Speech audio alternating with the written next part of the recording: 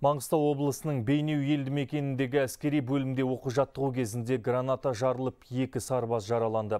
Біреуінің жарақаты ауыр. Оқыс оқиға 17 шілде күні полигонда әскерилердің ұрыс құралдарын қолдануды пысықтау сабағында болған.